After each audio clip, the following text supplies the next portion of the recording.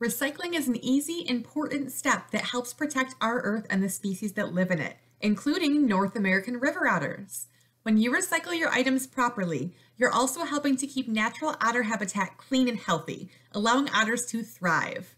Our otters lead the way through example.